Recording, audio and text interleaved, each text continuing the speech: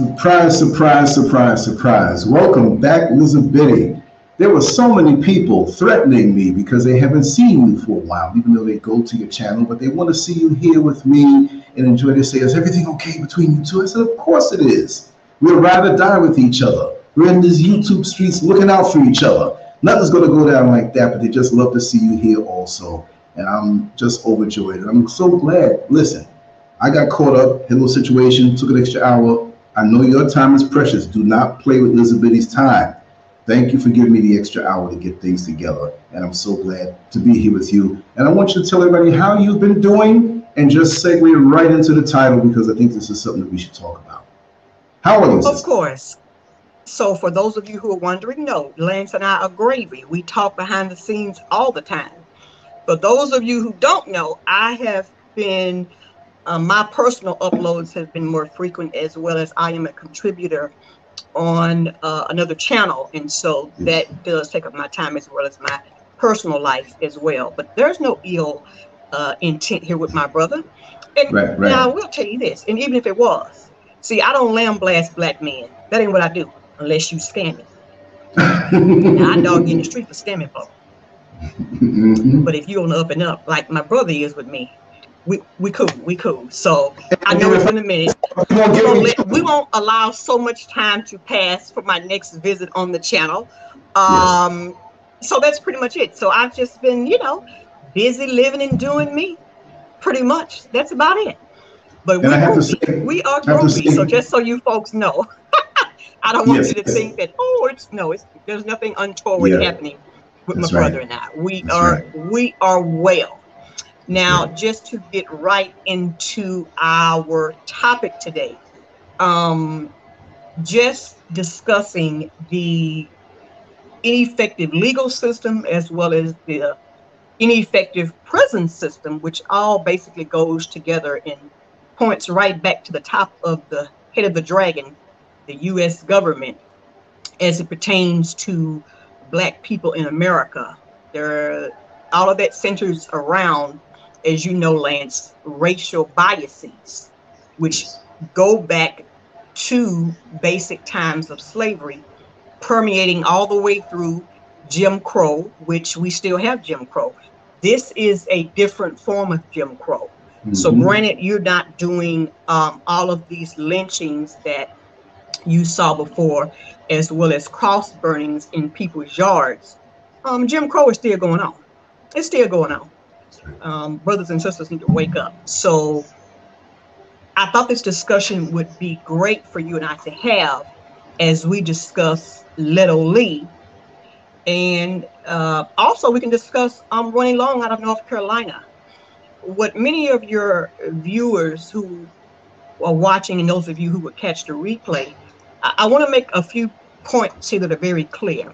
And based with Lance's personal experience, um, working um, with prisons and things, he can chime in um, and give some great insight to this topic. The 13th Amendment still allows for legal slavery if you are a mm-hmm. person that has been prosecuted and convicted under the law. Okay? Mm-hmm. So if you are prosecuted under the law, okay, you can still be a slave.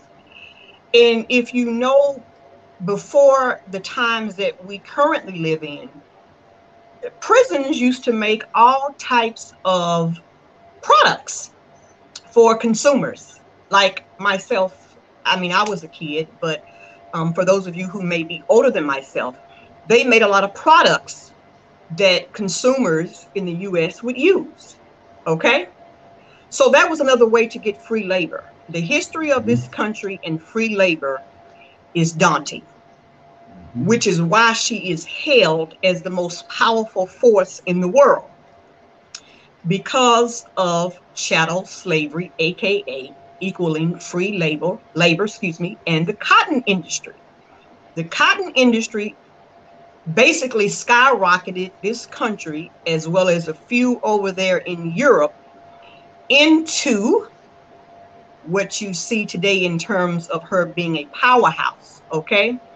and yes, the, the, the Cotton Picking Truth is a documentary that came out in 2020 that talked about slavery of a lady, uh, Mae Miller, I believe is her name, mm-hmm. who was a slave up until 1961. However, a local, uh, I think a state politician noted that there was still legal slavery up to 2010 in Louisiana and Mississippi. Okay? So just keep that in mind as we go through this discussion today. So when we talk about men, men being disproportionately given the death sentence, uh, execution, this is based on a system of racial biases. I did some research of my own when the information came out about Ledell Lee um, Lance, and what it did say was, is that I went back to 2011. And what I found in my own research was that we had 72 black men be exonerated from execution based on a simple DNA test. So yes, we know no the system is ineffective. It, it, it does not work. And the reason why it doesn't work, see some it's it's twofold. So I'll say it's it's going to be I don't want to say 50-50, but it's going to be half and half. It it works in this way. In targeting black people for ridiculous mandatory minimum sentencing. It works in that way but it is ineffective as it pertains to black men who they uh, convict and prosecute who've done crimes against white people. So let's say that. So the so so people won't necessarily get uh, jaded. So it is effective and ineffective in, in that portion. It is effective in incarcerating mass amounts of black people, yes, so that they can keep legal slavery going on. But it is ineffective as it pertains to black men and women who do crimes against whites. It is ineffective because a lot of these um, crimes that happen long before these advanced technologies for DNA testing and you know and all of that stuff, a lot of the folks have been convicted in in the sense that okay, well, a white woman is dead Ledell Lee was accused of raping and killing a white woman. All right.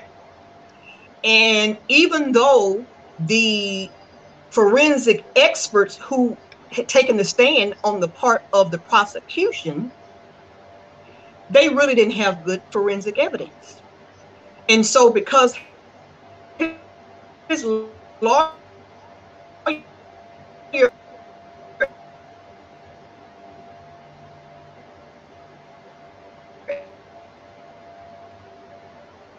and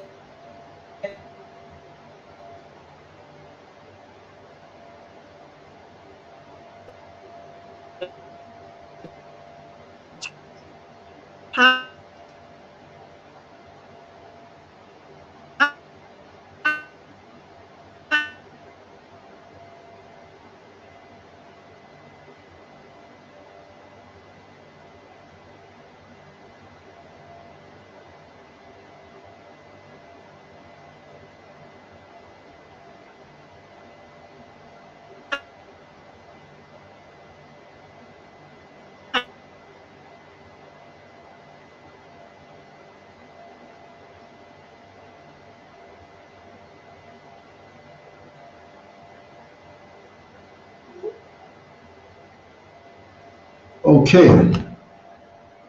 We have an issue here. It looks like we fell off. Let me see if we can get her back on. Okay, she completely fell off. Hopefully we can get her back on. If you saw I was typing something, didn't even realize that um, she started to get blurry. Everything is all right on this end, on that end. I don't know why this would happen, but just bear with us and um, she'll be back. She'll be back. Um, if you can see me, Elizabeth, since you got me cut off, if you have another uh, computer that has this on, just use the link that I gave you. And um, I hope she knows that she, she fell off. So let me send a message to her. Um, she might not know. Just told her click the link again. Always something, right? But that's okay. Top of the day, we're going to get a lot of stuff done today. So, well, why now, when she was speaking something so important for us to know? This is what I don't understand. These things seem to have a mind of their own, perfectly timed. That when we're on a comedy show talking about, you know, craziness, and we're laughing, we're adults, nothing happens. But as soon as we have someone as brilliant and is knowledgeable and is charismatic and convincing and knows the deal, they, you know, what one other thing, you all have been with me here, many of you, for many years, and okay, here she is. Yes, my dear sister, you fell off. And I was just telling them that you're saying something so important that you started to, everything started to, but I know that nobody heard that part. But you completely froze at yeah, one point. Cut me. I was talking. yeah, yeah, yeah. No, but they heard you up until the point that you came off. If I see you freezing, you're not frozen to you and you're not frozen to the viewers because it's coming okay. from the cloud. But it freezes to me, and I'm sitting here like, oh man, please don't cut off, don't cut off. And at one point, I was making a text and listening. Then you got quiet. I looked up. It was it was just me. So I knew. So I'm going to expect this. Like I said, I'm topped off. My internet is strong. Everything is good. There's, the power's on. This should not be happening, but we know with a show of this magnitude, this information, it's going to happen. Go figure. But yeah, let's continue on, sister. And again, like I said, if okay. something like this happens again, just come back on. Go ahead. So, Ledell Lee, again, he was um, executed in 2017 and even though, even with the Innocence Project, they were talking about um, requesting them to basically test his DNA with these new tech, with the new technology, um, they basically were not getting anywhere. And so what happened was in Arkansas, mm-hmm. they only had a set amount of the medicine that they used to execute persons left, and that medicine was set to expire. And so, since the global ban on that medicine happened, they set in motion to execute all of these people rapidly. And the first four that they did, Ledell Lee was one of the ones that was in that batch of persons who was not giving a stay with the governor, and he was one of the first four. So I, I, I was saying to the people here in the chat is that I didn't want to, I wanted to talk about the swirling and all of that. Okay. This is why you would see persons back from the 50s all the way into late 70s telling black men to leave her alone.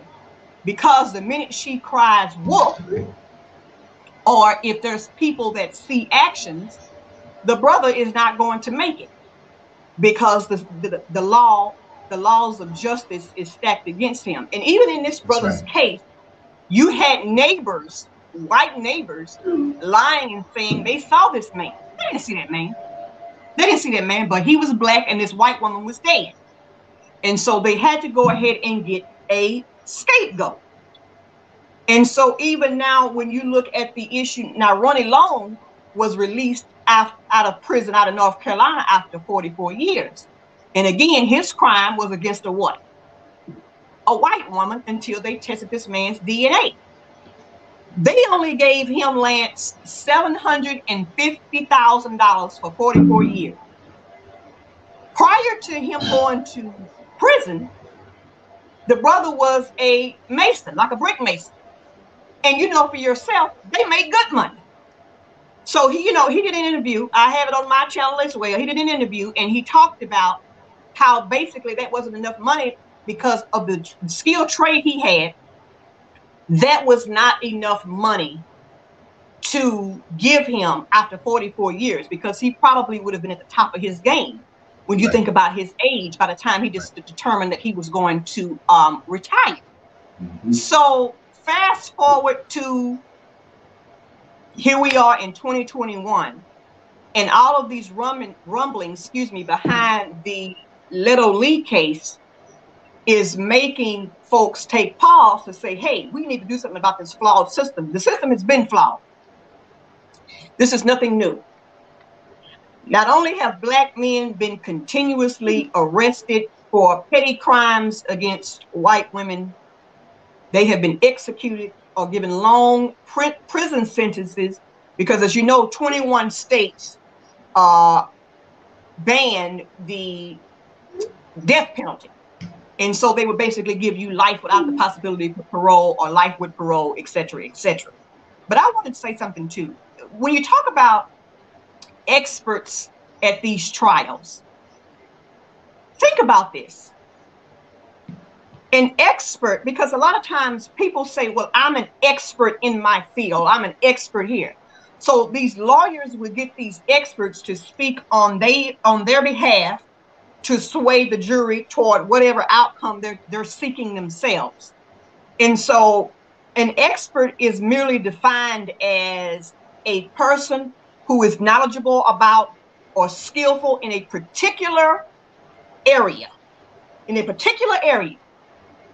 But what happens when those experts, although they claim to be skilled in that particular area, are doing egregious things to go ahead and convict innocent people, and these innocent people lose their lives.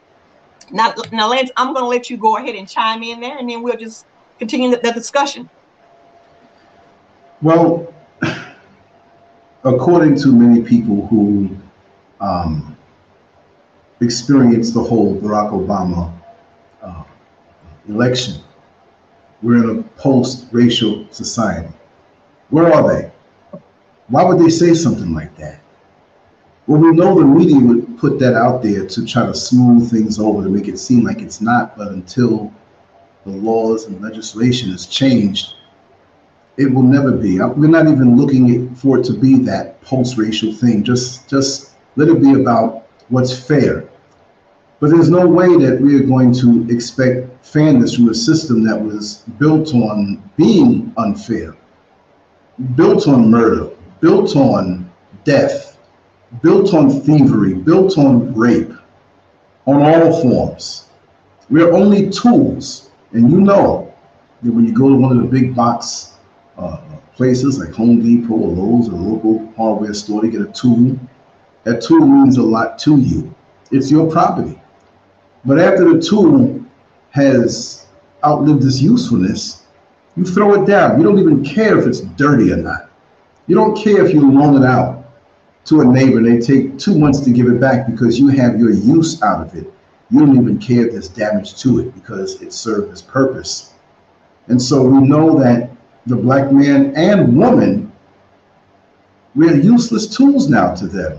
They'll lie to themselves in their dysfunction and allow a few of us to hold positions. But even if we hold positions in media or in government or, or clergy, we're merely puppets to keep the rest of us caught up in the hope that we can have some kind of equality in the system. But if you want to know what the system is all about, like you say, look into the judicial system, and that's where you see and you can gauge the real status of where we stand in this country. That being said, nothing has changed. That being said, we're all a step away from actually being slave. Once you're detained, you are enslaved. Once you're convicted, you're property of the state, and they can do with you as they wish because you are property. No matter how much of a luxury car you can drive, no matter how much visibility you can have on social media or on their so-called mainstream so-called media or position or status, when it comes down to it, when you strip all that away that they have afforded you to get because you didn't get it because you're brilliant, yet not because you're dumb, we're all brilliant, and most of us are, but they will afford you that. But there's a price for that. So, in my own little way, I was never a judge, I was never a lawyer, but as a CO, corrections officer, I got to see from that position the inside and inner workings of how things go, to talk to people and see how the process really, uh, I can't say affected, I can go outside and get affected by a mosquito bite. It will affect me a certain way. but this just totally railroaded people's lives en masse. And I haven't really seen any type of fairness as they would still try to give a break or a smack on the wrist um, to one who has a lighter hue. Not even that, to one who has no hue. Because this system was not built for us, it was built for them. And they're going to let you know that. Now, they'll have a few token situations where they'll let one get so called justice, but they still have to go out into the street as a black man or black woman. Now, I have to say, this is not a sexist statement, but their focus is really on the black man more so because we are more of a threat, because we can procreate with any race and create a black child. Well, they can say the same thing about the black woman, but they take her as booty. And I'm not saying anything rude, but booty, B O O T Y, that's the spoils of war. And that's why our women are called booty. When we focus on the backside, that's the spoils of war of a conquered nation. I'm not submitting and saying that I'm conquered, but they see us as conquered. And many of us act in a way as if we're conquered, as though we have to honor this person I don't have to honor anything. That's why I left their system. Even though it's worldwide, I did not want to be that close to the stove. So you cannot expect justice in their system when every step of the way they harass you, from the corrections officers to the food they give you, to the to the public defenders that they give you if you can't afford it, because it's a game. You see this lawyer, no matter what the color, because they have secret handshake organizations that that whitewashes that black lawyer because he's working in for the system. And you think that they're working in your best behalf and they're only playing games with you because chances are that same lawyer and that same judge went to law school together, but they travel in the same circles. And even in a social situation, might even discuss your case. Well, what do you think going to do? I don't know. Let's just, uh, hey, but they go through the theatrics in the courtroom but it's a game that you're not supposed to win. So stop thinking you're going to have justice in this system. And it's unfortunate when innocent people get caught up in it that didn't do anything at all. That's to show you that it's not about the people who do stuff. For those who do stuff and take a risk, that's on you. You're still my brother or sister. I love you, but you know what you're dealing with. But for those who are innocently, uh, they're innocent and convicted of something they did not do and have decades of their life, 44 years, and give them chump change, that shows you that in that situation, what your life is worth, don't say that's him, not me, because if it's one of us somewhere else, it's us.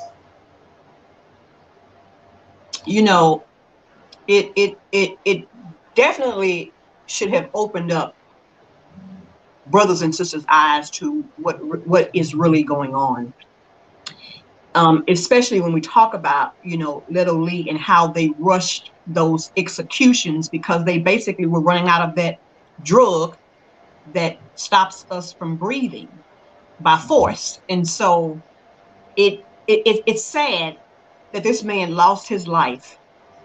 And from the time he was arrested, Lance, you know, till till they executed him, he proclaimed his innocence. He never one faltered he never one got off his square to say, hey, I am guilty. I'm not taking any plea deals, etc., etc. But remember, this was a rape and murder of a white woman. Mm-hmm. And you folk out there who like to do all this swirling, let me say this. Because see, some of you folk like to hear the truth, but I'm gonna give it to you raw and unfiltered. You are free to lay and dilly dally around with whatever you choose to. Okay? But think of this: the first thing you should be you should be thinking about is how you going to keep your bloodline going by mixing. That's the first thing you ought to be in your head. And the second thing should come about should come about because even in 2021, let a black man accost and do or, or do anything untoward towards a white woman, and he is the bad guy. We've seen issues even with the gentleman who was in Central Park and the woman said, I'm going to call the police on you and tell them that you're messing with me, even though he she was in the wrong. So it doesn't matter about her being in the wrong. You're going to be the one that suffers. So why even go there? It, and that doesn't make us um, prejudiced. That doesn't make us prejudiced. What that makes us is careful and smart. You know, last last last weekend, I was telling um, a friend of mine, and she is here. She's like my sister. She's in the chat actually. Um, and I was telling her I was out with um, colleagues. Okay, my superior, yes, he is a black man. He's an older gentleman, Lance. And we were out. He taking us out. Okay, during our evening out, there was a white lady that came in and she was sitting by herself. She ordered some food. You had three waiters. One of the waiters was an African gentleman. I don't know where he was from. Okay. So as she finishes off her meal and everything, Lance, what she says to him, um, because her original waiter, I guess it was his shift time to be over, so he left. So it was only two left, and it, one was the African gentleman.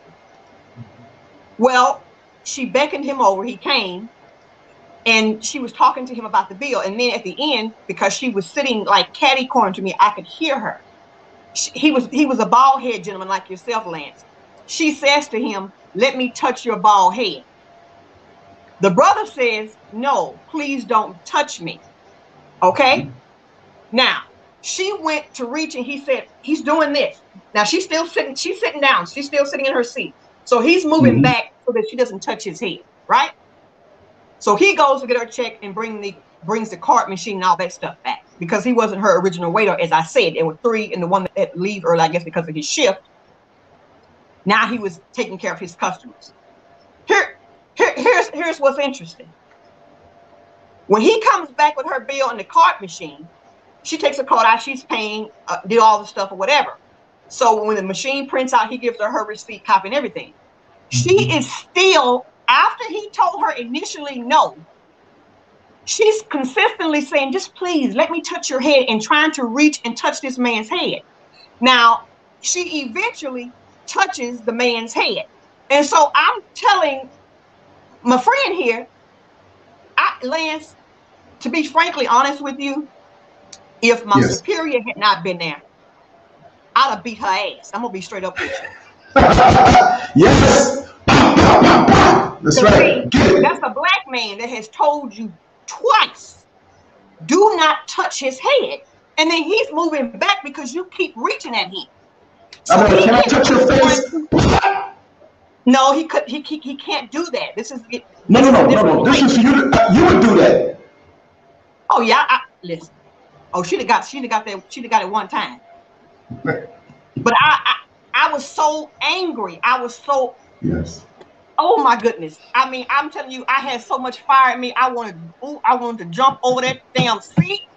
You don't know what I wanted to do to this woman because the brother, and he was, and he was very tactful about it. so even when you're being nice, saying, yeah. "Hey, don't touch me, stay out of my personal space," but because you got some type of fetish going on, I'm supposed to bow in because of the country that I'm actually in and notice he can't, he could not, even if he wanted to raise his voice, let's say in his country he would raise his voice at her.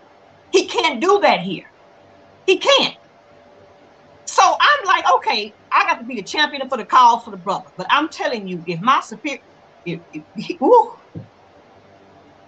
we wouldn't even be on this on this uh, screen today because they probably wouldn't come to arrest me because I was gonna beat the dog snot out of her here by picking Let, up tables or anything yes, I could have gotten. Yes. Yes. To break her back. You hear me? That's right. That's right. But this is what's going on. Mm-hmm. So a black man who is not even interested in her, he can't even say, hey, hey, hey, hey, hey, hey, hey, hey, leave me be without you trying to consistently push the issue of the agenda, whatever it is you're trying to do. So when you think about men who have been imprisoned falsely, executed falsely at the hands of white people. This tells you the totality of what it is because if you also think about the 72 black men I said that have been exonerated since um, the last the, the statistics cut off at 2011 plants, there's more of them. There's more of them who could be exonerated. But the problem is, and, and I'm sure you know this yourself, working as a CO, the problem is is that judges do not like to say, okay, well, Lance, you can have DNA testing for your crime. As we said in the beginning, free labor, slavery under the 13th Amendment. These prisons will lose money. They'll lose money.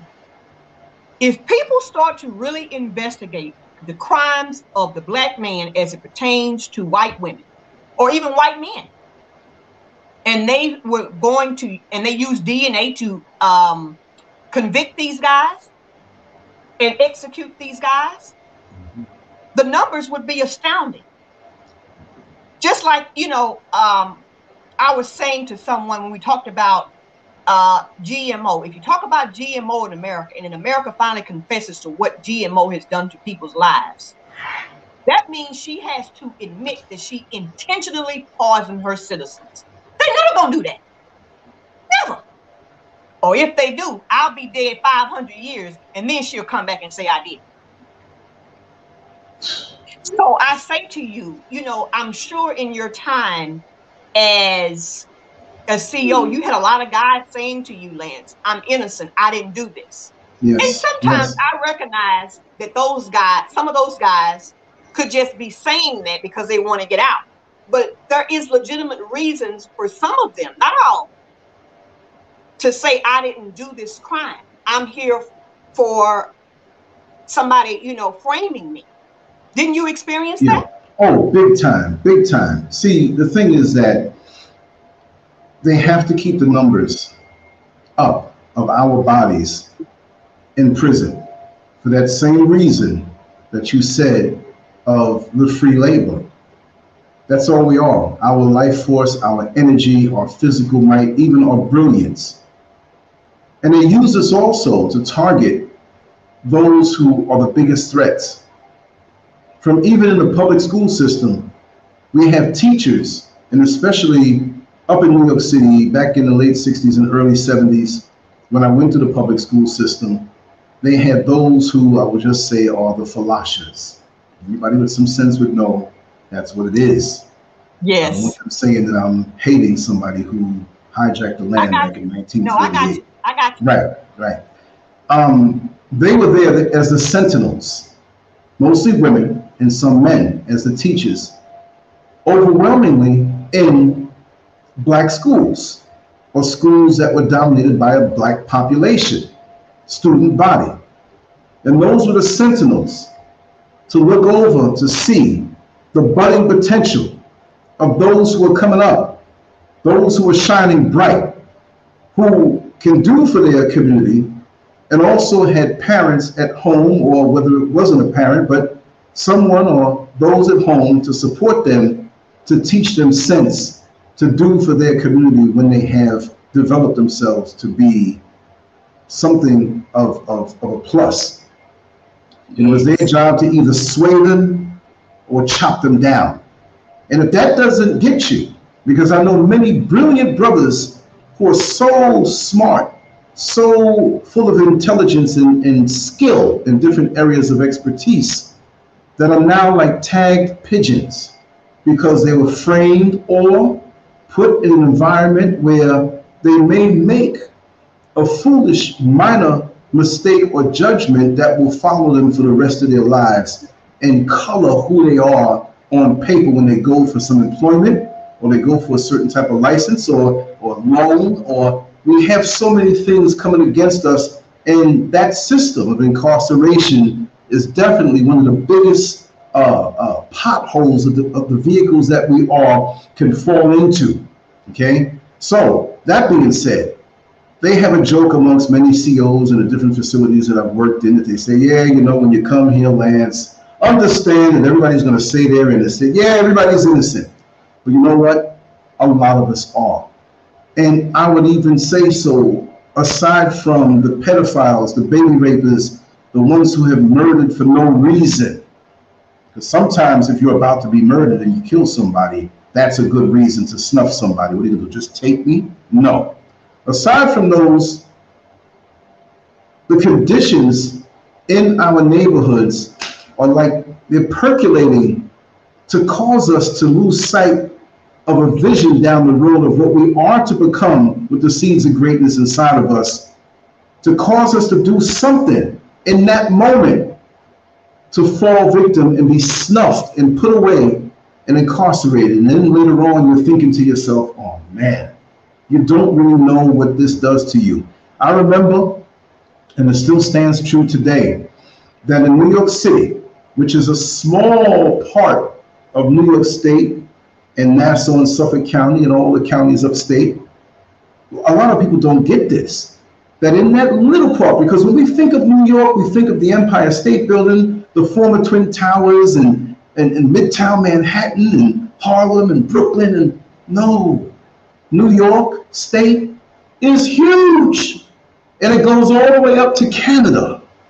Yes. And there's lots of empty space and country and places that don't generate income.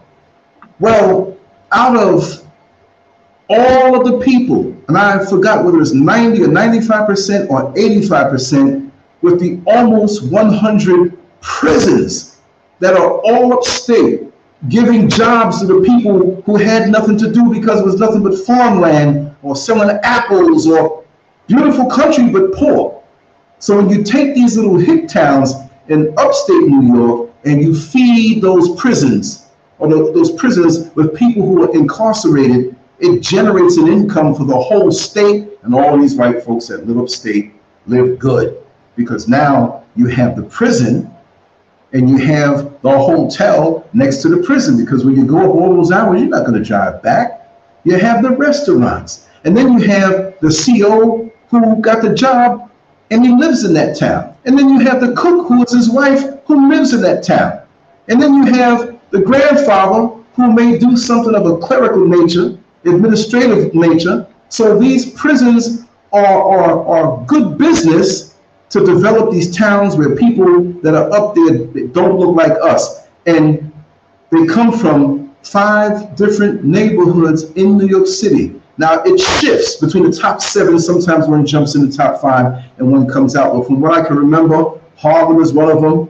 Um, uh, Bed-Stuy, Brooklyn is another one. Uh, Jamaica, Queens is another one. Maybe certain other parts of Queens and certain other parts of Brooklyn. But it's usually five specific neighborhoods where most of the bodies are arrested and brought up state eventually. Because you don't go to Rikers Island, you go through case, you get convicted, and they ship you upstate.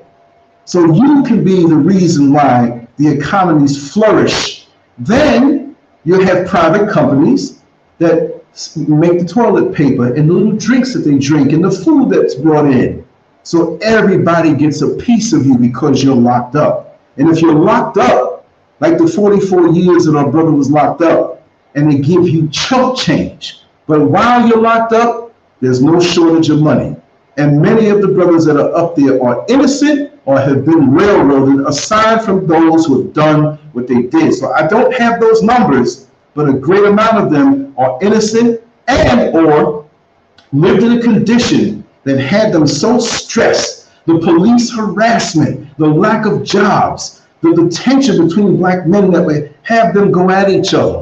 You know, just all kind of things in these neighborhoods that produce the conditions. And while you're going through the poverty, you look up on the billboard and see a pretty sexy woman standing next to a luxury car. And you wish you had that, but there's no job. And she's complaining that you're not making any money. You feel less than a man. You get frustrated. You go out there you do something. After a while, there's no excuse for that, but I can understand why because I've sat down for years with these brothers because you know I'm a talking brother, and every time I went to work, I talked to these brothers and got to see. And we are wounded, we are hurt. We're about to play a game in the system that we know we can't win. So sometimes we're going to take shortcuts, and in taking the shortcut, even when we do something petty, the consequences for it is even larger than somebody living in an affluent neighborhood who got caught with drugs and they take them to a rehab because their fa- family has money or contribute to a, politician in this campaign. So we'll take care of him. But when you're in the black neighborhood that happens to be a poor black neighborhood with not many options, we got you. Your life is not worth anything. We have to preserve ourselves and we take you away and throw away the key. Come on with it, sister. You know, Lance, it's interesting when you talked uh, as well too about the small towns. Um, because, as I said when we first started this stream, that up until 2010, Louisiana and Mississippi, they still had slavery in terms of what we know slavery to be in people out in cotton fields. So no, that doesn't surprise me at all. What what should be appalling and surprising and aggravating to black folks who are still in America, and you all continue to think that voting for these oppressive regimes, calling the Democrats and the Republicans, these people are not your friends. And the blacks who are serving, you as I've said before, the congressional black coons. So that's what they are. They number coons because they want to stay in office and they do things against their own people. Now, it's two things you need to watch for. The next vote that comes down for this police bill, I want you to watch how many folks in the congressional black coons gonna be voting yay. Okay, watch that. Mm-hmm. Mm-hmm. And then the second part of that is this: What are you gonna do about it? You gonna speak, continue to vote for these folks, but these small towns, because of how they're set up, just as you said, they do use family structure, nepotism, to basically arrest people who are just passing through, etc. I mean, a lot of that generates income for them, just as you said. So no, no one is uh, mm. oblivious to that. And if there's any private prisons, we know that they make money off prisoners. I said that at the start of this stream. Why we still have that? Ask yourself, ask yourself, why hasn't there been amendments to the 13th Amendment or ratify the 13th Amendment to remove that clause about prosecution as it pertains to having legal slavery? Ask yourself that. Ask yourself. Because that is by intention. That is by intention. No, none of these polarized Western nations that call themselves superpowers came to be a superpower without slavery. Understand what I just said. None of these Western nations that call themselves superpowers got these titles without slavery slash free labor. Now, the tenet is is that America just took it to the nth degree. She just made it so egregious. And here we are today, where a black man can continue to coexist, live his life. But the minute someone says he has done something untoward to a white woman, it's, his time is up, it's lights out. And they will use all kinds of tactics to lie and get the brother to become guilty. And there was a case with the brother. I want to. I think he was in. Um, he might have been in Virginia. Young brother that recently he was at a Western Union wiring some money to his girlfriend Lance. There was an incident at a hotel in a like two towns over. They used facial recognition on this brother and said, hold up. No, that's him. So now this brother, even though he had a receipt from Western Union, the Western Union where he was sending the money, that facility had a camera to show him in the facility, to show him in the facility. They said it was still him because it was facial recognition. Now, the numbers on that are astonishing when it comes to them using that technology to find criminals. Let, let me say this as well. In the UAE, they use a lot of AI technology, okay? Remember, I, even the last time I spoke on your channel, I've always said to you, Lance, that industrialization, technology is a benefit and a curse. there's good things you can garner from from these uh, uh, uh, new developments as well as ills of those as well. That's right. And so here they don't use facial facial recognition in terms of that software, but what they do use is these AI cameras. And because your picture is all over your visa here, your um what they call an ID card here, all they do is match the picture up. Whereas mm-hmm. not per se using these these um retinal scans and all this stuff of previous criminals. They don't use that aspect of it. But I, I, I said it to say this. As we usher in what's happening right now, even with the, the cost of fuel that's happening in the States, what you're going to find is that as numbers in these prisons begin to be on the decline, they're going to have to come up with new ways to incarcerate us, i.e., you got an Asian hate crime bill, and you black folks voted for that. That's y'all doing. Mm-hmm. Anybody vote, you did that. I'm, I'm blaming you for it. I blame everybody. Mm-hmm. Okay, you got that going on. Then you got this mess with the FDA that's getting ready to ban flavored and menthol cigarettes when the research shows that black folks are the ones that smoking that. So now we have ushered in a 2021 version of prohibition against black people. That's your new crime bill. But y'all voted for that. You folk voted for that.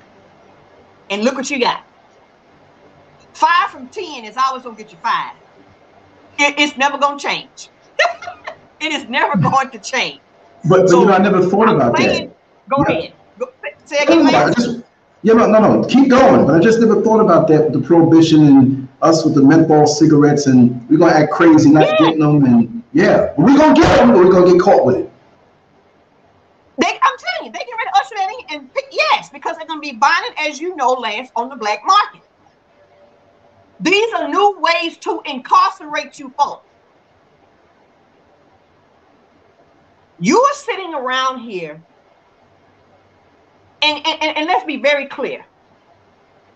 Because I said this before in a previous stream of mine. Let's be very clear about this. I'm not quite 50, but my parents were complicit in voting for some of these people who have still been in Congress, etc. And some of you folk who are my age, your parents were complicit if they were voting for these folks. Because as blacks in America, our parents are always telling us, especially with the Democrats, this, that, no, because you just because you have more blacks in the Democratic uh, House of Representatives, doesn't mean they for you. I just told you that those coons ain't doing nothing for you. They don't speak up. All they want to do is have a study about reparations when we know all you have to do is go get these records. You don't need no study. That's a waste of time and money to get you off your square. So now they allow these other politicians who do not look like them usher in new crime bills that is going to affect you. But you folk out here playing. These brothers are losing their lives. Imagine spending 44 years in prison for a crime you didn't commit.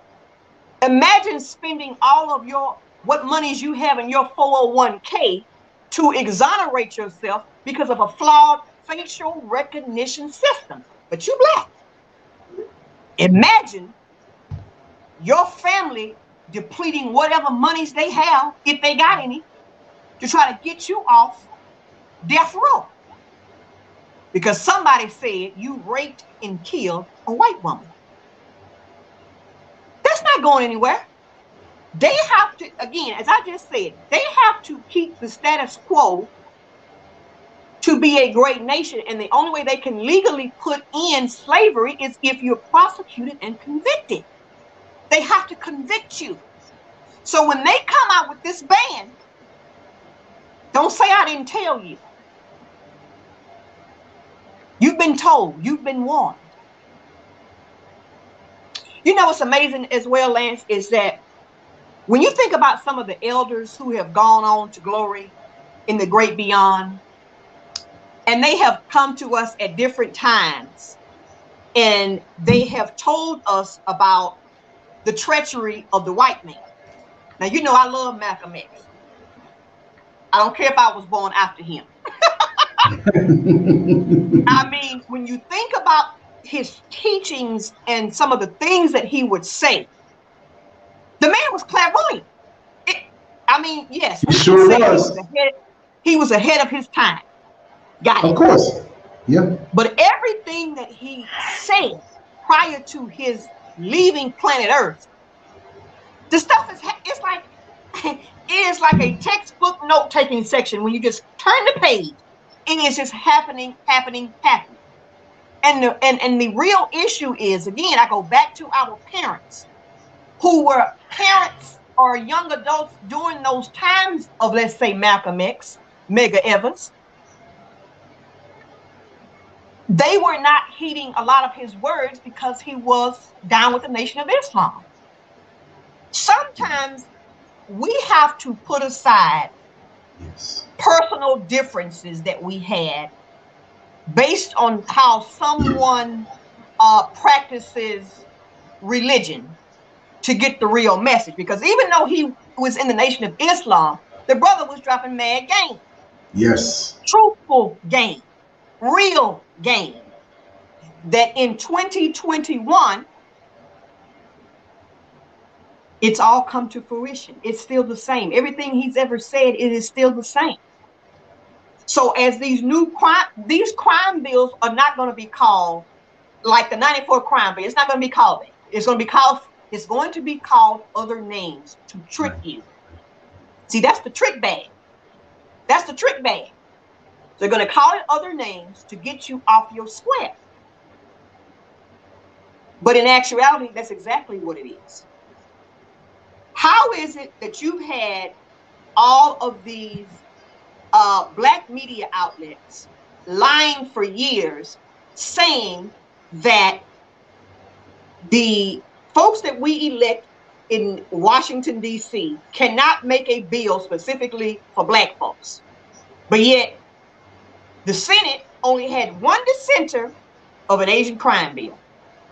And nobody is talking about that in mass numbers as they were before, saying that they could not have a bill specifically for us. I.e., a Roland Martin. See, because some of you folks still listen to him, but he ain't nothing but a coon. He trying to get his biscuits. So when we talk about the injustices and the system that was created against black people in America, nothing has changed. Nothing has changed. It's gotten and worse. So since nothing has changed, you're going to keep getting what you got. Not a damn thing. even with Lance in his experience, as he said, you know, you had a lot of guys telling and saying that they're innocent. And you know, Lance, no one can say what the true numbers of innocence is because as you know, and you're a parent, it's hard to to to weed out the ones who are being honest and the ones who are lying because they want to, their they want their freedom to get out of those four walls, out of the confinement of those walls. Yes. And so yes. you can't really gauge what the innocent numbers are. And so even when you talked about, I remember when Angela Davis was talking about the, the, the prison industrial complex and that entire system. But see, we perpetuated that by voting for these folks. We did. Our parents did us a disservice by encouraging the debauchery. So I say this to you, all of you folk who are going to catch this now, and those of you who are going to catch the replay, don't make the same mistakes with your children. Don't have your children out here voting blindly for identity politics. Don't, because we haven't solved anything. The only the the optics that we have moved in terms of techno- technology has allowed us to move where it looks like we are doing better as black people. And no, we're not. Because racism in the workplace, in schools, in medicine, etc., etc., etc., continues. So even though you know, like we see one-offs here and there with with, with, with cop killings of, of of unarmed black men, that's only a small piece. When you think about the racist agenda in these workplaces, in medicine, look how many black women are dying, are dying giving childbirth during childbirth. So many black women are dying during childbirth, and nobody is listening to them when they're talking about being in a state of discomfort. Something's hurting me here. It doesn't feel right here, and blah blah blah blah blah. So no, it it the the system is not and has never been made for us.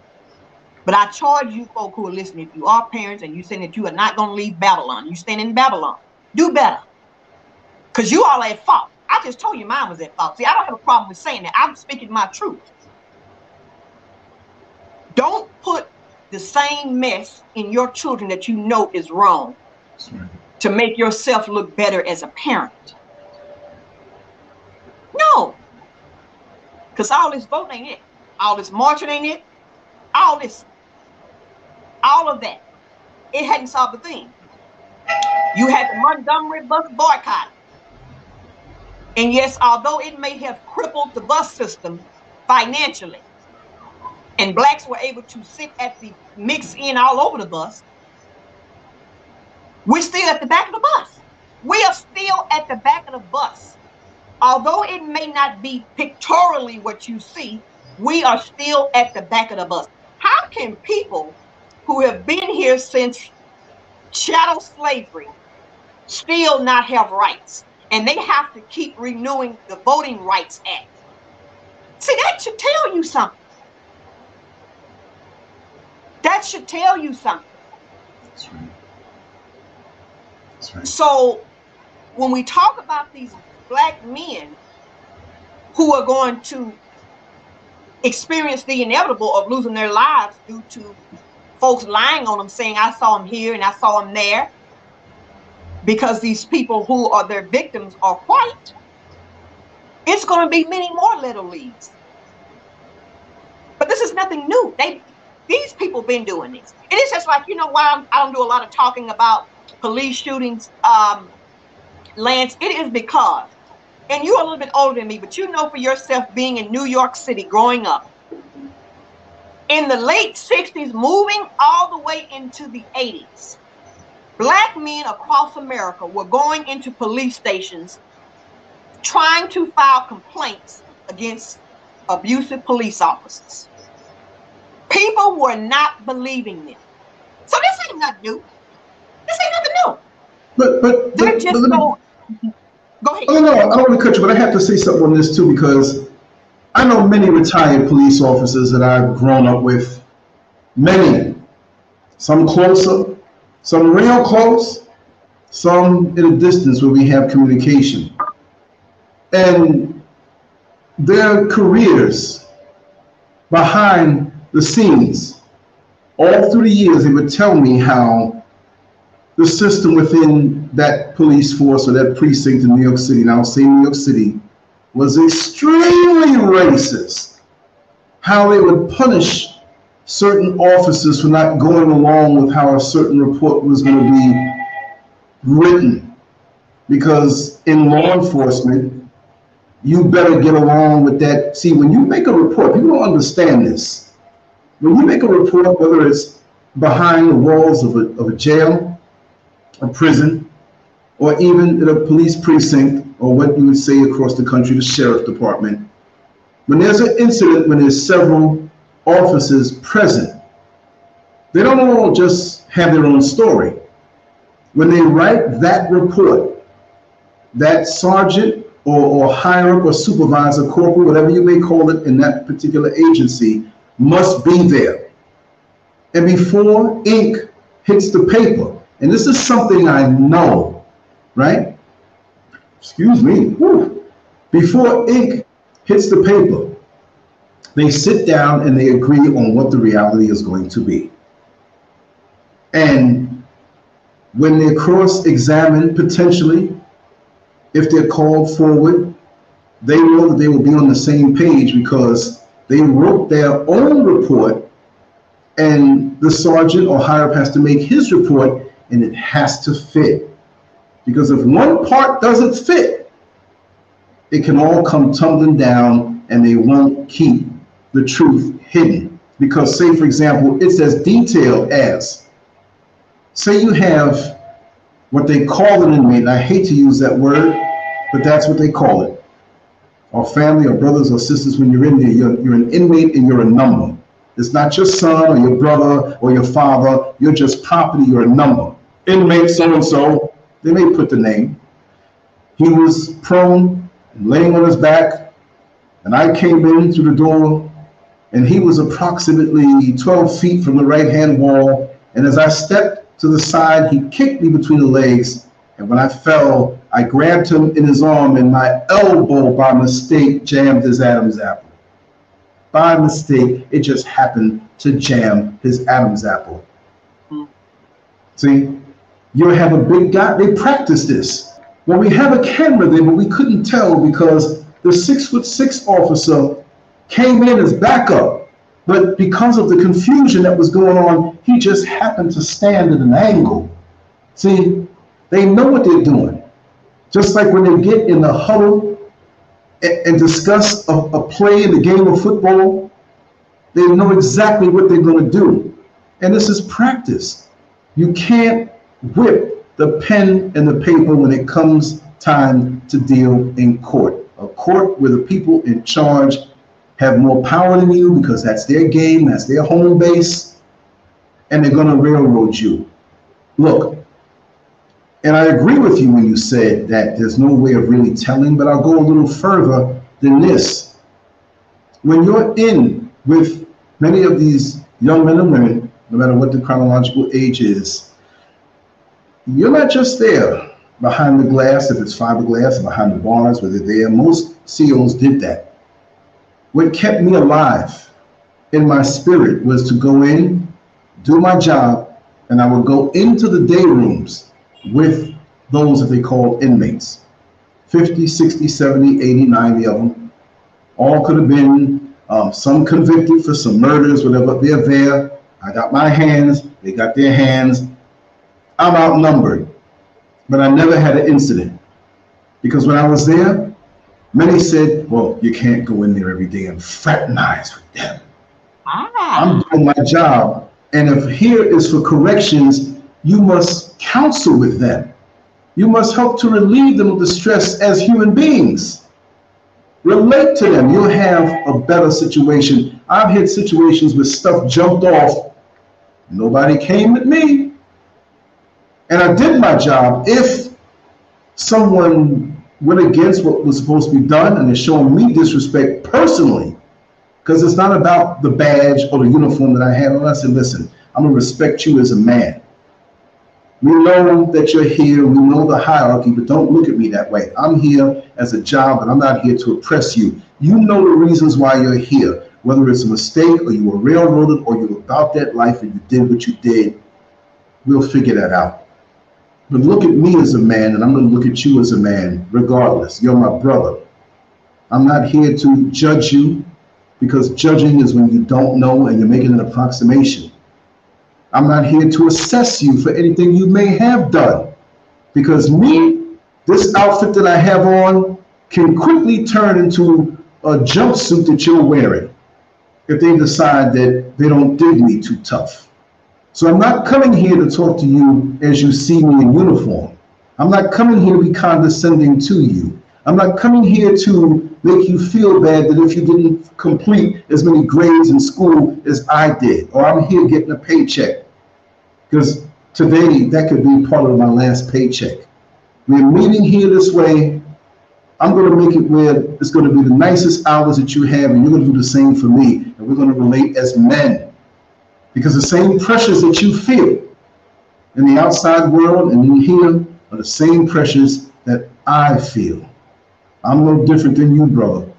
I just got away from having to walk on certain hot, red hot coals. But I know the deal. That being said, many people don't understand. It's like I know I can go home when I put my hours in there, right? But in a way you can't. You're there in your waking hours. You, I would do a lot of overtime, 16 hours a day. I would just go home to sleep and come back.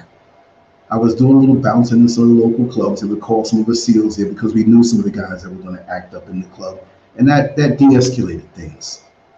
Needless to say, that I spent a lot of time with some of these young men. And I'm here in the motherland and still keep in contact with many who I met in a jail or a prison because we have that kind of bond. Whether they were the victim of recidivism and went back, or whether they came out and never went back. It's bigger than that. And we who are in position have to see beyond that. Oh, you little inmate. Oh, you're no good. I've seen some of my own brothers who are also correction officers come with their nose in the air because they're making a little money so they don't throw off. Those I will not deal with. I don't care if we have the same uniform on. I'm going to respect you as much as you respect me, but I can't respect you when I see how you're doing or dealing with someone who's in a, a position, whether they deserve to be there or not. That's not my job to be there to do that, right? So it all depends on how you deal. But when you're with somebody 16 hours a day, 16 hours a day, I would be in there more than I was when I was with my ex-wife. And I know them, and I hear them in the middle of the night. I hear the sincere tears that they're trying to hide from other people. Even the ones who may have done things that landed them there. Big, tough, strong guys that you would not want to find walking down the same alleyway at night by appearance. But they're teddy bears. They have kids, they have daughters, they have sons. They had dreams of a life, but they didn't realize it in the heat of the moment. And when you see these and hear these tears, and when you see a brother that he's crying so hard that me as a man, no homo, but it hurt my heart. And this is another thing. We as black men have got to show our brothers who are going through the same things more love. Love. Not no homo business. Brother, come here, man. Let me give you a hug. I feel you, man. Let me sit down and explain to you that I understand how you feel. I would open up the cells and sit down on the bunk with them, and we would talk for hours. Other COs, you all right there, man? Why you spending so much time in there, man? To hell with him. He that nigga, that nigga did what he did, he deserved it. I don't do this with no baby rapists, no. But it might have been a young brother who needed that time from me as an older man to sit down and show him because he didn't know and have somebody to teach him how it goes. That's half of it because when we're young men, we don't want to be men. But what is it that we are told men are? Do we have a lot of women? Do we have a big roll of money doing something that their that their laws say are illegal because they do illegal things to us to get money? They did all this illegal stuff for centuries to put themselves in a position and still can't get a loan from the crooks that stole from us, our life force. So I'm not going to come down on you for that because nobody gave you the blueprint. How the hell are you going to maintain a vehicle that you just bought and it didn't come with an owner's manual? So these brothers are feeling around in the dark and they have aggression as they should have aggression. But they didn't have the police athletic league. They didn't have a, martial arts training. They didn't have, their thing was the corner and, and the basketball. And there, why they did that, they didn't have any money. But the brother comes up and says, hey, man, get rid of these, man, and you'll get some money. So I'm not going to demonize unless you say you're about that life and you got sense and you refused something better when you had the option. But we need more people to talk. But those who are in social media or in media, they're zipped. They can't talk. They want hits. They want pop popularity. They don't want to get shadow banned off of YouTube. I know when I kept getting them bans, I knew I was doing something right. No, care. Because if I'm somewhere talking, they gonna stop me that way. I'm like a roach. I'll keep coming back. You smash me, you think you got me. Look at him, he's dead. Look at when you look down, he's gone. He dragged himself away. He's gonna recuperate and come back. That's what they don't like about us. There's more to us than they understand. This is why they try so hard to keep us in that downtrodden position. But we are slick. We're the biggest, the baddest, and the smartest. I wish more of our brothers had influences on them to make them understand how powerful we are. I'll shut up because I'm going off on the rant. I'll rant later well, on tonight. But, Talk but, to me. Lynn, part of that comes from one's own convictions. Uh, for ex- like I say, I practice principles of Ma'at, and, and and one of the tenets of Ma'at is justice. So when it comes to cops, th- since they have this cold, this this this blue wall of silence and all this mess, a lot of them will not call to the carpet their said officers when they are in the wrong. Just like you were talking about the paperwork. Same thing. If you if you re- recall recently, the black woman in upstate New York who had been suing about her pension, excuse me, she finally won her case after all these years so she can get her pension. She basically got kicked out of her career field because she stopped a white officer from basically beating up on a black man who was handcuffed. And what they didn't tell people was, is that that same officer who she was stopping from beating the black guy who was in handcuffs, he assaulted her. So imagine. So imagine now. The white officer is in the wrong. The sister checks him about what he was doing. And then he goes and starts striking on her. But nothing happens to him for that mess. So there has to come a time when you have to stand up for your own convictions at all costs. See, we have gotten so afraid to perish. We are mortified of that, and nobody knows. I could, while we're having this live right now, I could perish right now, Lance.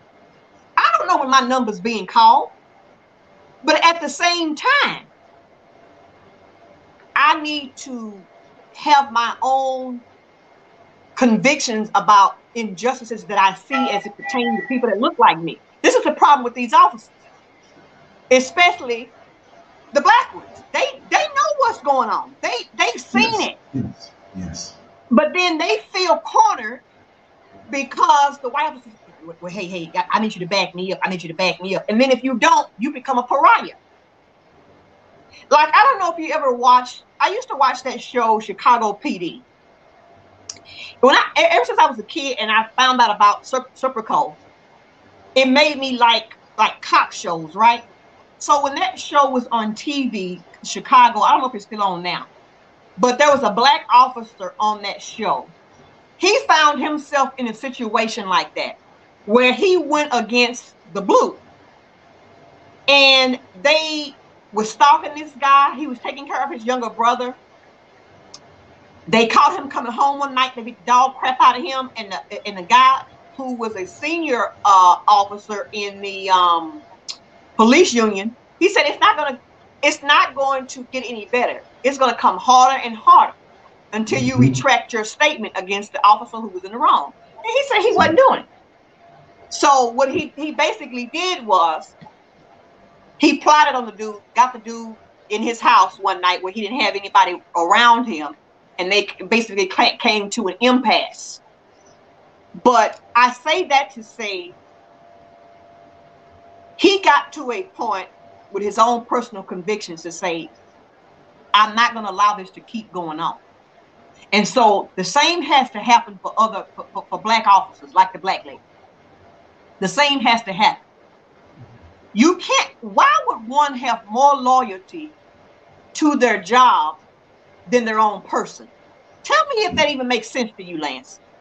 You got more loyalty to your job than you do to the people at your house. That's crazy to me. Well, well, you got to understand, and, and I will say the men doing that. There are a lot of women who do that now, but yes, since the numbers, yeah, since the numbers are a certain way, and, and I will say in corrections, in many of the uh, agencies, there are slightly more women there than men as officers. Um, but a lot of these men who you see in the supermarket after they get off of their shift and you see the corrections uniform And I'll say that more so because we're used to seeing police officers more, but there's a certain um, shock when you see a corrections officer in a normal situation. He might be at the gas station, he might be at the supermarket, wherever. But when you see them and you're not used to that environment, and we see what we see on HBO and Cinemax and Showtime in the movies and on the videos of lockdown, and they edit these videos to always have action. Because you're not going to sit there through 95% of the video where 95% is just routine stuff going on. It is not like that where you go and there's a stabbing and then there's a this fight over here and they're trying to steal. no, it can get that way, but most of the time, like I said, just have to tell people a lawyer may come in and you have to escort the inmate and, and, and shackle him down in a safe area so they can talk about their case. The nurse comes around for her meds and you have to document this. You have to take them out to the yard and have them get their sunlight, their hour in the sun and document this. Routine stuff. You're usually cracking jokes with the guys who are there because they're not walking around like the crime yeah. they say they did. They're laughing, they're sad, they're up. Yo, Lance, man, Scurv, man.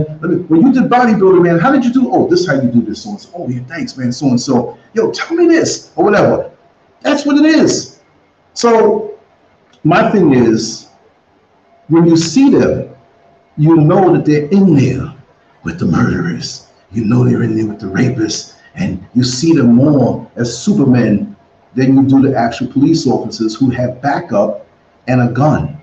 You have no gun when you work corrections. Now you see some big fat sloppy correction officers who gave up on keeping themselves up because they're about to retire. Some go in there just to eat all day. They're walking in there with all this food, fast food for breakfast, and they're talking about what they're gonna eat for lunch. And then when they eat lunch, where are we going for dinner? You see what I mean? So you have all of these mentalities, but nobody's there to really connect with the people who are there and make it an easier job for them.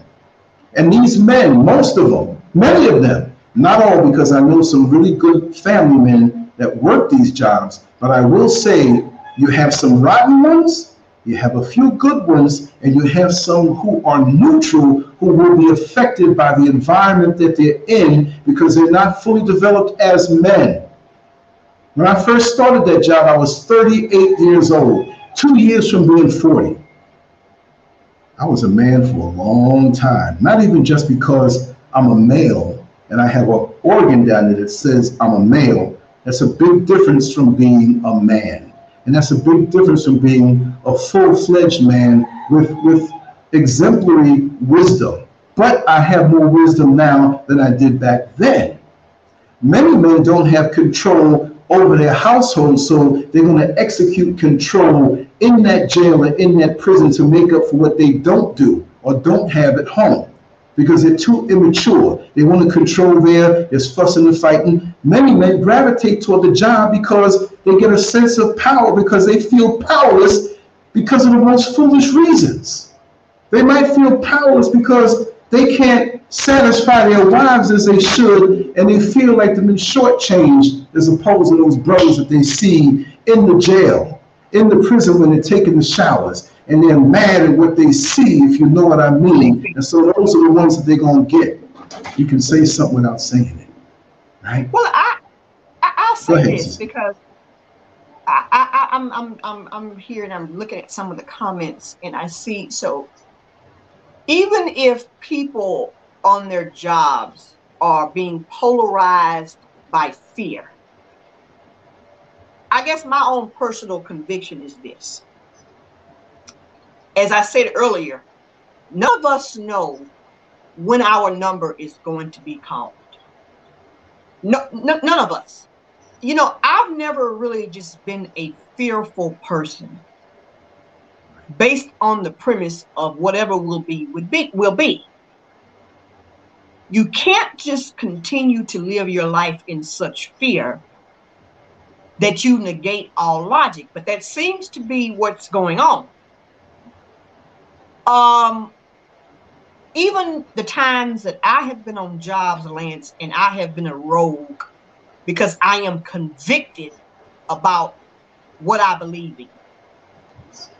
You know, I was telling the same friend, I said, I, I would come and they would say, my dad would say, you on your way to being fired. I'm just wondering when they're gonna tell you that you you're fired. because I would be doing things that was against the grain.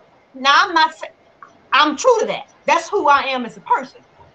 So I say that to say people. So I'll give you I, an example would be this. You know how a person say, "Oh, I'm mortified of rats. I'm mortified of snakes. I'm mortified of this. I'm mortified of that." Okay, I get that. But how are you that fearful at work? I, I, I, I, guess, and maybe, and maybe it is not for me to understand. All I'm saying is because you have to look back at yourself. And when you think, as I say, about the principles of Ma'at, they don't use the terminology karma. That is a, uh, a, a Buddhist tenet, I believe it is, Buddhist or Hindu. Somebody correct me if I'm wrong, but what it does talk about is how whatever you put out in this life, if you did all bad, then that's what you're going to get. So when you watch people continuously sign false police reports uh, against people that look like you, you don't speak up because you're afraid that you're going to lose your pension and all this. First of all, those are things that at some point you could probably get back. See, we look at the optics a bit different at times as well. And I say that if a person is working in law enforcement, just as you were talking about signing off on these reports and you know the coercion that goes along with the team and one person being a dissenter and and and, and all of that. You have to I, I feel like you have to come to grips with reality within yourself. And maybe i'm asking too much of a person to do that. I don't think i am but i think that that should be a no-brainer. You know if somebody is repeatedly doing an injustice in your police precinct and you know that they don't like black people, why are you co-signing these false reports? And then the FBI did their own study saying that all these police officers are in these gangs or in these white supremacist groups. So why are we know this? And so maybe it's fearful or loyalty but you still back in the blue. You're supposed to be back in the black. I'm confused, well, Lance. Mm-hmm. No, I, will tell you because, like I said, when I worked in Central Florida, in that particular jail, it was um, infested with, with Klan members. See, that see? I was working on posts with them, and the ones who were born and raised in that particular part of the world or in that southern area they accepted it as normalcy and just basically say, well, we know they're there and we don't bother them and they don't bother us. But guess what? They're getting ready to light you up if something jumps off. Yes, and you but accept. How can, yes. How, how can those guys effectively police with all of these biases?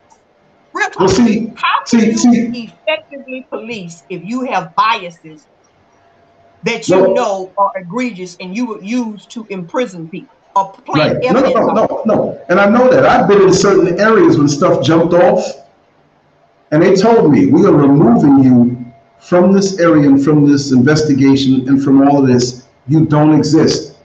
You don't exist. Before anything happened that I saw, as it was about to jump off. And I knew why, because they were going to do something wrong. And most go along to get along because of that money and that pension. Yes, I was fired for feeding inmates extra trays that were about to get thrown out. Two extra trays. Two. I got fired. Right? Was it really that? No.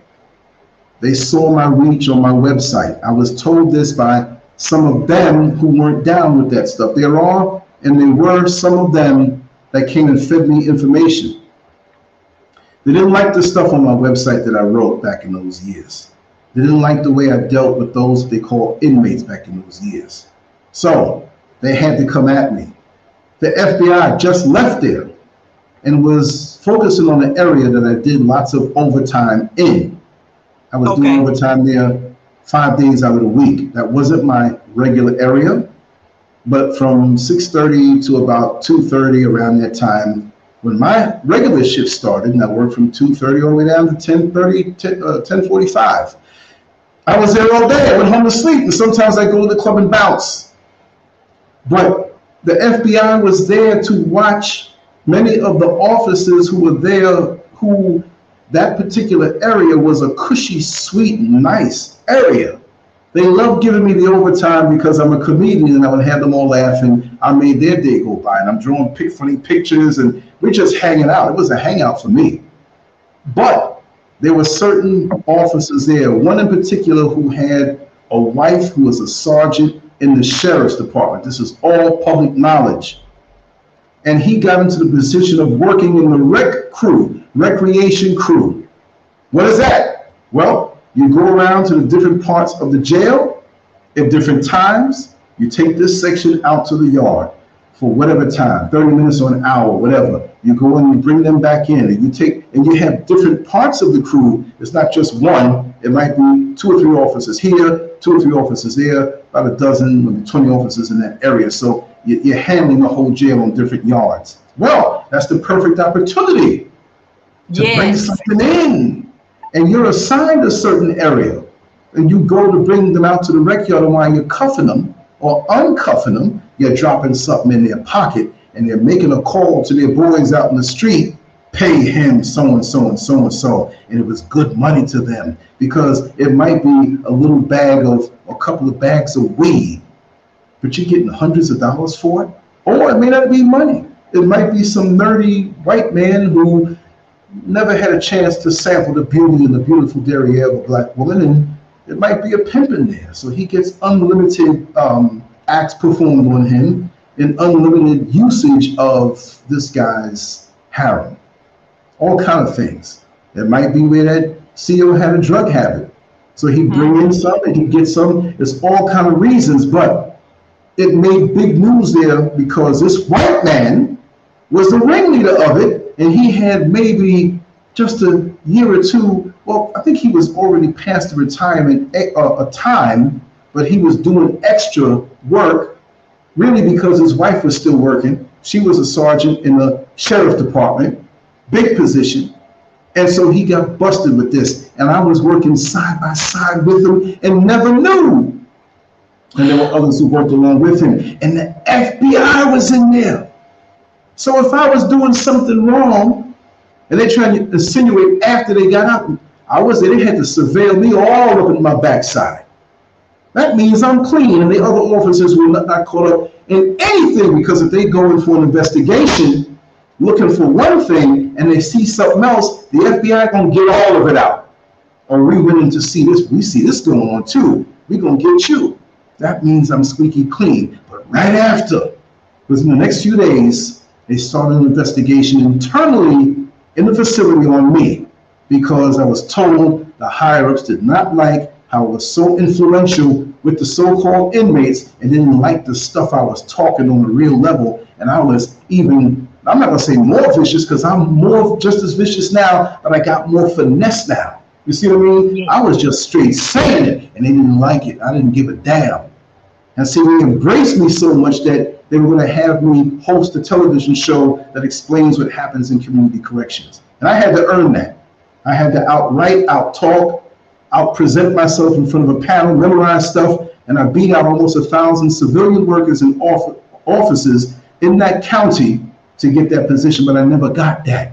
They were asking me before the investigation dropped to be part of the CERT team. They were asking me to be a part of this. Um, there was some other thing that they had there where you basically were a snitch. And I said, I'm not doing it. And they kept asking, I'm like, I'm not doing it. Not because I live in the same neighborhood around the corner from the jail where most of, most of the folks that are in jail come from. They used to think I was crazy. Well, I would change my uniform. if I walked through the streets, and if my truck was messed up, I would get up 4:35 in the morning if I had to go overtime and walk down 33rd Street up Rio Grande in Texas. Ask anybody about Rio Grande in Texas Avenue. And I went out there in my uniform. Man, they can come out and shoot you. I had a reputation and I knew it was real. I didn't have to worry about it. Matter of fact, some of the guys that may have been locked up might have saw me and say, hey man, what's up, Scurv? You walking? I ain't wearing dirty. Now let me drop you off over there. And I get rides. I'd see some of the white officers just look out the corner of the eye and keep on going, the Klansmen. See? But I worked with many of them and I had frank talks with them. I'm like, look, I'm from a different place. I'm not, not like those who from down here. I'm like, let me ask you something. You see? And they, they gave me answers. And they respected me, if you can say that, because they didn't really respect me, but from their point of view, they gave me a more of a of an elevation over those who they knew were weak.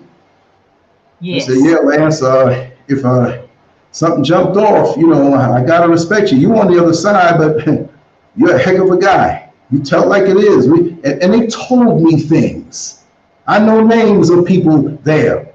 I know the whole deal. And these other ones who are scared of them would turn on me faster for the, for the baubles and the trinkets and the rubies and the crumbs that fall off the master's table. But I stood alone. And they put me in an investigation and had all kind of things brought up when I was there at the final situation.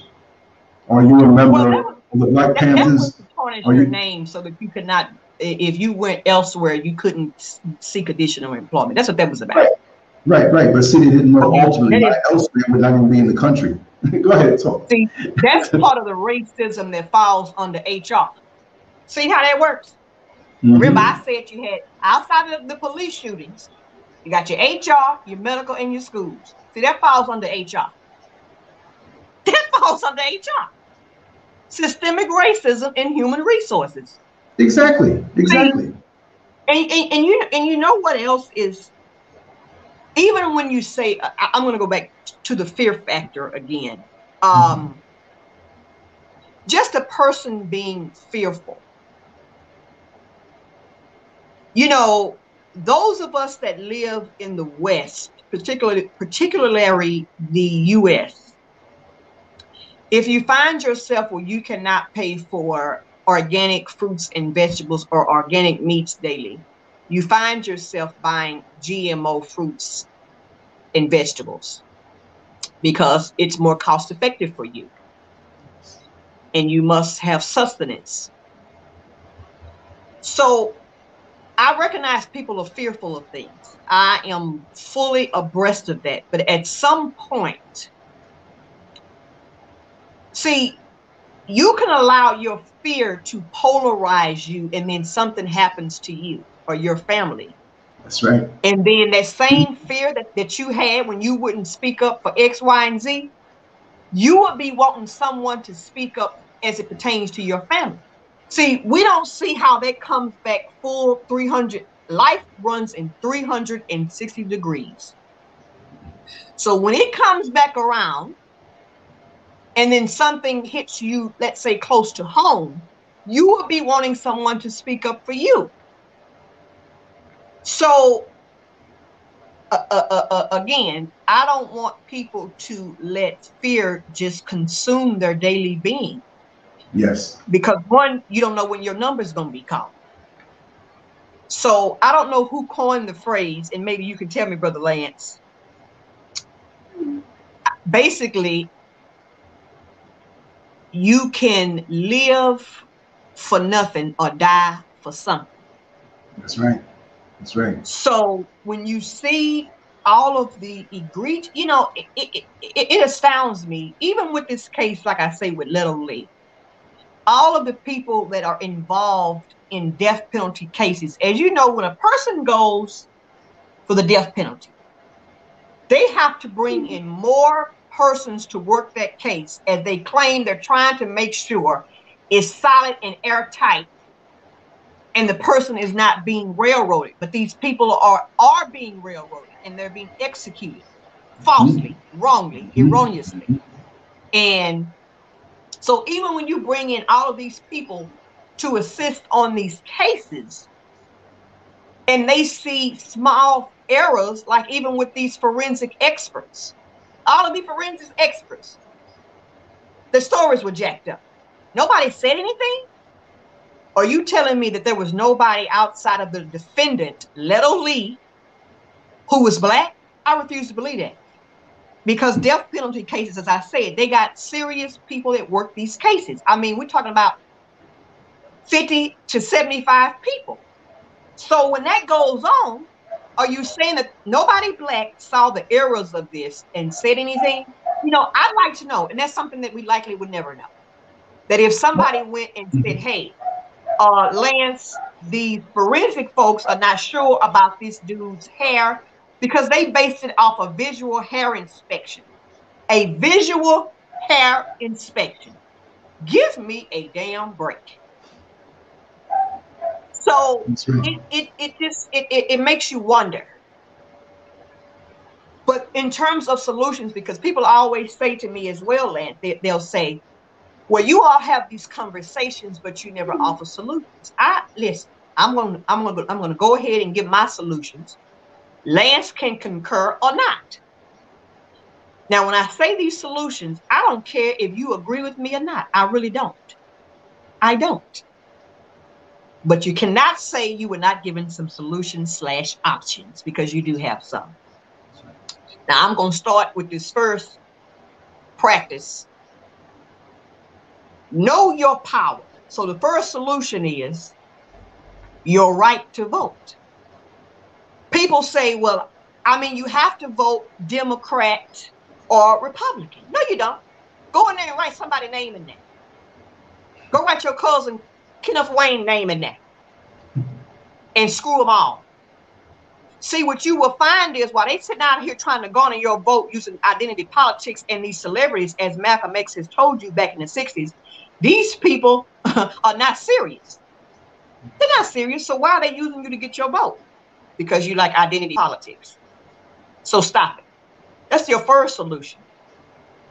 The second one is continue with the first if you are not going to leave Babylon for, let's say, greener pastures.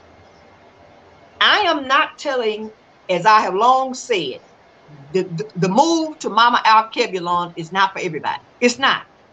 Because the black diaspora in the West are some of the most, you know, I talk about parents, but, but you folks are jacked up. I'm to be nice on Lance's channel. Don't be nice. You Don't be nice. Let her hang out. you folks are jacked up. You folks are real jacked up. What you don't want to do is prior to making your uh, final resting place, you want to bring all of this baggage and egregious crap that you have in your personal life onto the continent. And the continental Africans don't need your mess. They don't need your mess. Leave your mess where you got it from. And if you're not willing to leave your mess, then keep your goddamn ass at home. I mean, it's as simple as that. Stay at home from whence you coming. So that's your second solution. Is to get off the rock. The rock meaning Babylon, aka the prison of America. Now I gave you two, I gave you two options. Now, in conjunction with number one, if you're not going to leave the rock, what you need to be doing is supporting black owned businesses. There is power in your money. There's power in your money. But you folks, listen, I as I listen, I have said this before, and I say it wherever I go and have a listening ear. Okay. We want acceptance so bad from folks that do not look like us that we do not support our own at our own peril. That's how we live, Lance. And we have got to stop that. So you folks don't want to leave the rock, aka the prison, aka your abuser, because she's an abuser. Preach. She is a domestic abuser. But y'all love her. Okay, I get it. This ain't for everybody. So your next solution, as I just said, support these black owned businesses then.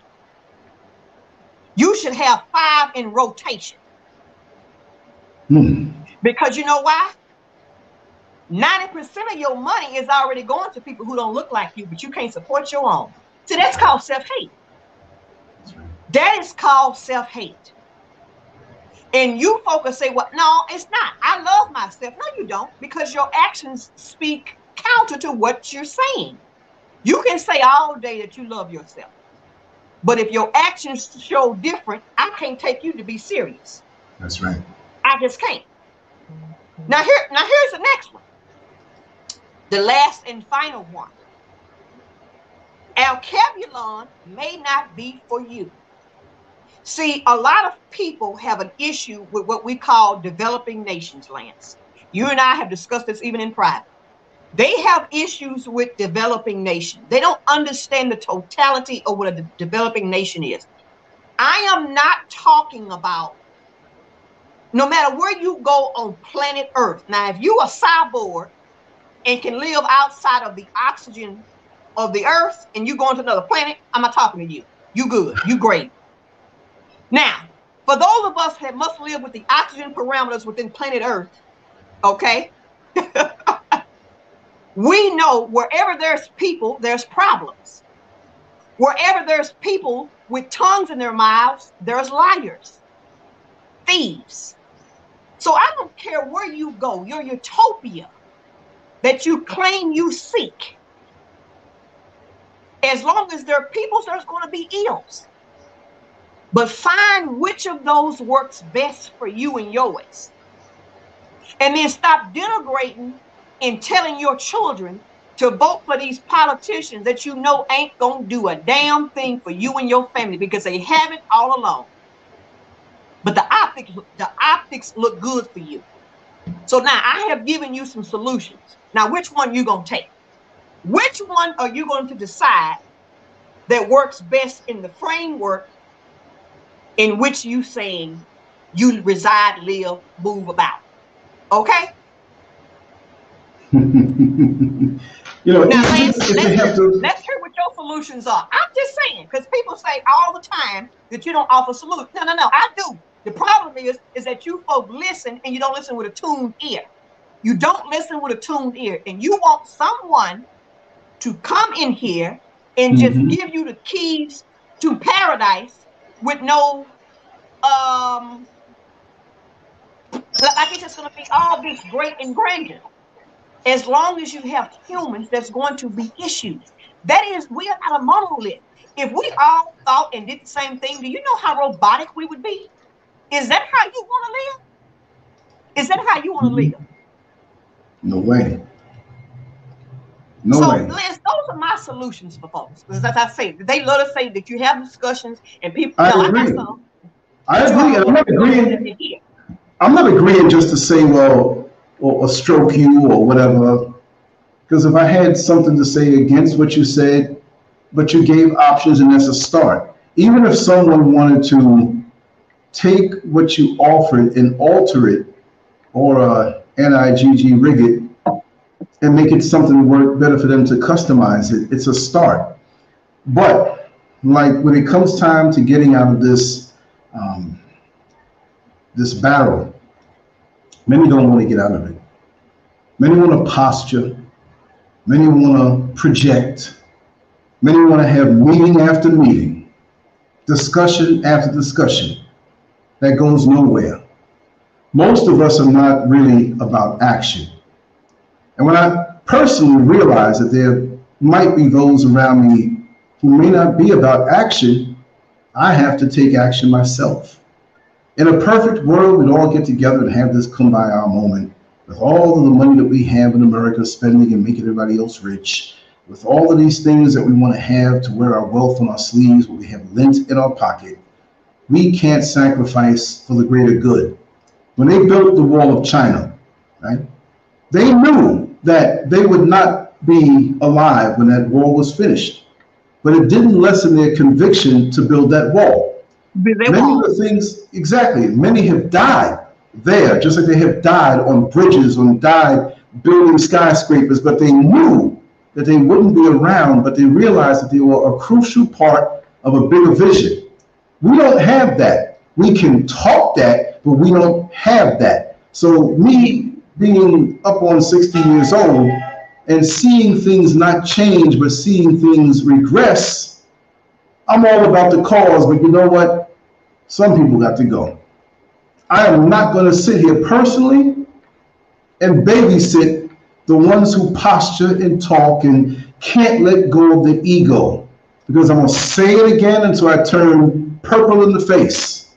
Everybody wants to be that second hand, the, the hour hand and the minute hand on that very expensive watch, seen all the time and being the one to bring truth. But nobody wants to be those little tiny microscopic gears that move those hands and make it keep the perfect time that that faceplate of a watch gets credit for, but nobody sees what's going on behind the scenes. We have yes. to be able to let our egos go. We have to be able to think beyond our lifespan. But many of us seek this attention and want to be the one and want to be the speaker of truth. And yes, I can do better than I can speak, but I don't give a damn about that before YouTube finally bans me, I might just walk away and leave it and do what I really want to do. you know what I mean? I mean, this, this this thing is getting, even though this name is, I'm going to do it because folks like the flavor, even though they reduce my numbers and stuff. I'm to keep on doing it. But my, my, my essence and my in, what made me is not this. This is not the first time I got attention in my life, so I'm not addicted to it. Like they have made this to be a narcotic for us. They have hijacked the movement. We look back and we see Malcolm X, but we got Photoshop now, and we can pose ourselves and we can manufacture leaders and revolutionaries like that one man, um, that this other, the fat chick up in, um, what's her name? Um, Geechee or whatever her name is. And she got on me because I did a, a, a video questioning his validity because he was some rapper who was supposed to get this award and he was this and this and that. And now she finds out he's a fraud. What's she gonna say? See, we have so many people who are infiltrators, and it doesn't take much. Look, Malcolm X didn't have social media, but what he said got out there. We can sit here with a cam, a bunch of computers and equipment, and project ourselves out to be this and go home and lay down and live exactly the opposite. And I'm going to say it. We have talked personally, and you know what I have dealt with in the last few months as far as frauds are concerned. It's so easy to be that. But Malcolm X died broke. Malcolm X wasn't watching his YouTube numbers to see how much he's going to get paid this month. He did what he did because it was the right thing to do, and he had conviction and commitment where others didn't. And even after he died, where were those who took care of his wife and his kids? Little bastards. Do you think it's going to be anything different now? Because people. In social media, people turn on you on a dime when you don't give them the attention they want. When they can't finagle up and get something out of you when you a dope them. So this is why I stay alone. And like you said, I gotta really know you before I F's with you. I used to open the floodgates, come on and realize these are frauds. Who, who, who, this is just another fashion statement. Before they wear the corporate outfit, they, they wear now to be the Hotep kings and queens and all that bull. And you're not about it. You can't even sacrifice and support someone who I'm not talking about me. He can't give me no money. I'm good. If you want to help out, fine. I'm not out here for money. I'm not saying I got money, but I'm at peace with myself because I'm not out here for anything else except to do what I do. And it's an honor, Sister Elizabeth, that you're here on this channel when you want to come, you can come on here because if you knew something about me that wasn't right, you wouldn't be here. And if you find out something about me that's right, I know you ain't going to be here. So it's an honor to have you here. And anytime you snap your finger, I'm there for you, no questions asked. Because there's too many people that hide behind keyboards and have their hidden agendas and secret motivations. I don't do drama here. I'd rather not do shows at all and go do my artwork and my writing and all the other things that I really love doing. That, that, that brought me here. LanceScurv.com. You know, check out the artwork. Go ahead, sister. so I, I, wanted to clarify before we conclude here. Um, one of your viewers here, a gentleman, his name is um, let me go back. Day uh Deo Nature. Mm-hmm. I am not no, I don't believe in no voting system. I don't vote. Whether locally or nationally, I'm not voting. That ain't my testimony. That ain't, not that isn't my testimony. What I'm saying is because see, black folks don't continue to vote. What I'm the option I'm giving you is is to write someone in. I don't come out to vote. The vote is not gonna work in your it has never worked in your favor. Write somebody in. Write in your cousin Pookie. Write him in. Don't be voting for these people. They have an agenda that's outside of yours. But the optics make it look like it's all for you. You see that? That's how you got in Joe Biden and Kama Sutra. Because you folk like identity politics. and then he tells you that you ain't black if you don't vote for him. Like, we don't know about all, you've been in politics almost half a century and have never done anything for black folks, but all of specifically black folks, not minorities. Stop using that word. Black folk. But y'all still voted for it. So I'm telling you, do something different. That's what I'm saying. Try something different. All you have to do is try. You know, I find it funny because I know that the bulk of you all in, in, in this chat are parents. I know you are. You all will tell your children to try something different, but you won't even take your own advice. That's the hypocrisy I'm talking about. That's what that's the hypocrisy I talk about. is that you try to enact stuff on your children, but you won't accept your own advice. That's what I'm talking about. So no, I am not with the voting scheme because that's what it is. It is a scheme, like a Ponzi scheme. That is a scheme. so no, I'm not. I'm not on that. What I'm saying to you is, if you're gonna go on to the polls, write somebody in. Write in free call Lee. Write that in. Free call Lee from To Kill a Mockingbird. Free call Lee. They like that. Know your worth. Know your power. And the same thing with these black-owned businesses. You all are not coming. I, I recognize that. And as I said, I know that, all, everybody's not coming. However, you should be having a rotation of five black-owned businesses. If you see something and and and you, you research and say, okay, well, I can't find it in the black owned, then you go elsewhere. But you need to be supporting the people that look like you, but you all won't accept it. All y'all want to do is go and buy all this high-end stuff. And and, and truth be told, I in, in ultimate transparency, yes, I have some nice high-end things that have been gifted to me. You hear that word? Now, at the same time, what you need to be doing is to supporting the people that look like you. Now, if they scammers, leave, leave, leave their arse alone. Leave them alone. Cut them off. Because we don't need continued, continued cancers in our community. That is the right. problem with, with a lot of us in Black America, is that we continue to perpetuate scammers and folks who are not for the good of us at the pearl of our own especially children. You know, for I don't want to. We'll talk. That, that's another topic. But those items that I said, just try something different. And if you are coming to the continent, start getting your mental health on, your mental health there, because y'all coming with some junk, especially you non-travelers. You folk coming with a whole bunch of mess, and that mess needs to stay in America with the people that help you conjure up the mess them 25 20s. Leave it there. Lance, I thank you for having me on. It has been real. I know it has been a while since I've been on. I appreciate you, brother. Oh, yeah, I'll be back. I'll be back. I, I want everybody to go to Elizabeth Elizabeth's channel and subscribe if you want more of this.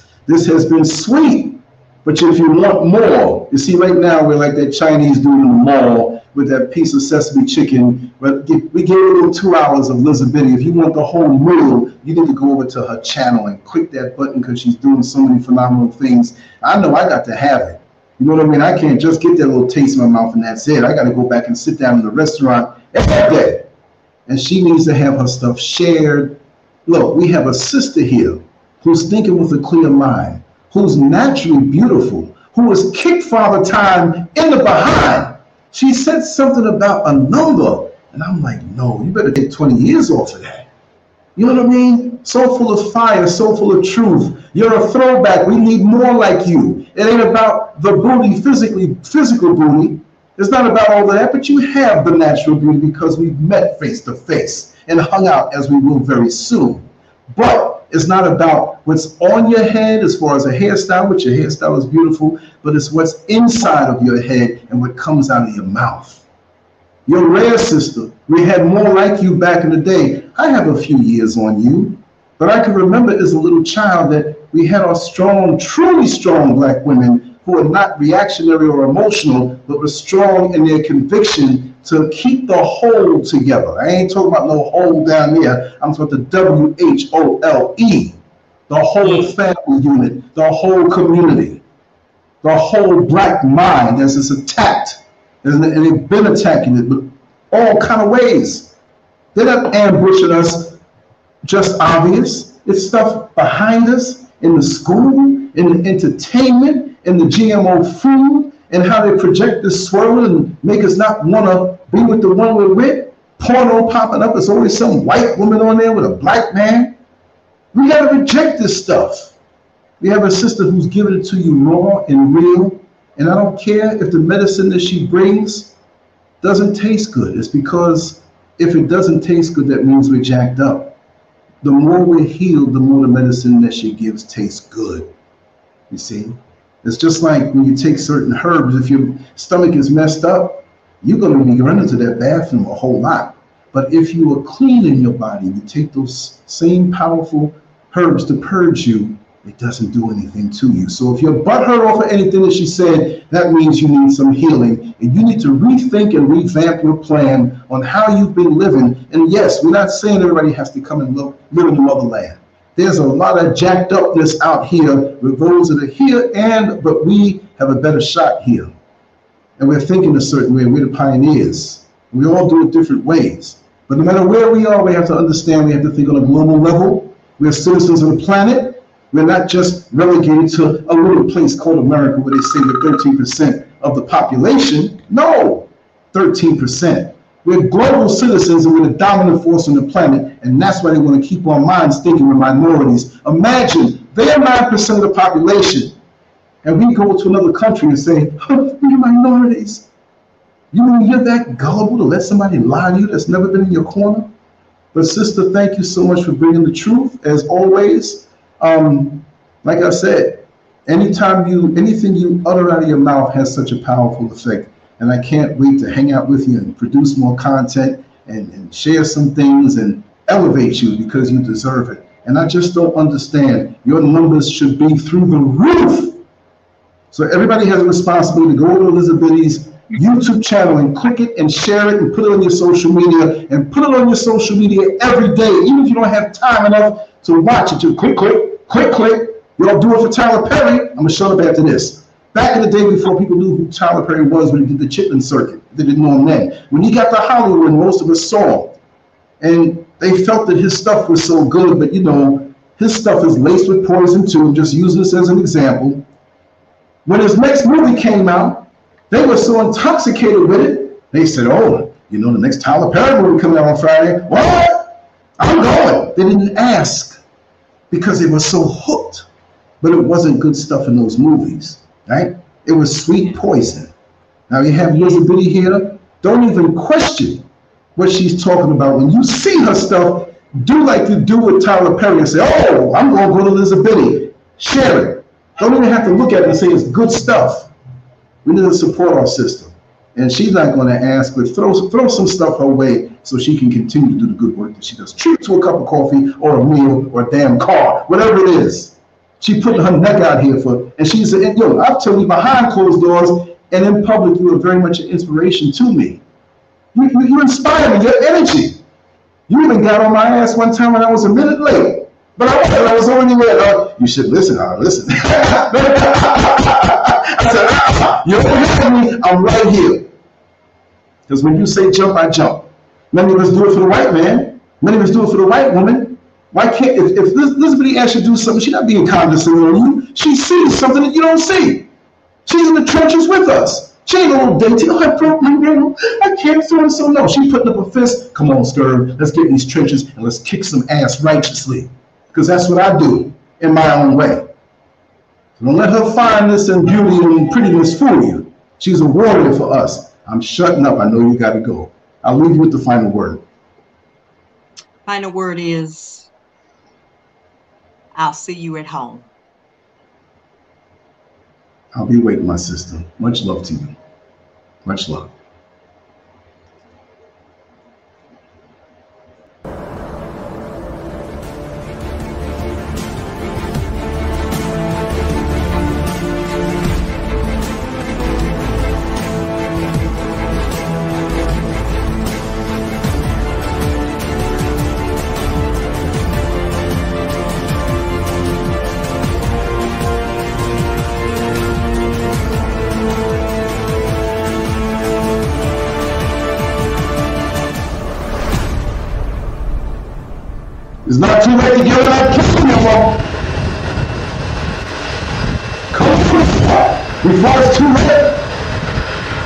Don't them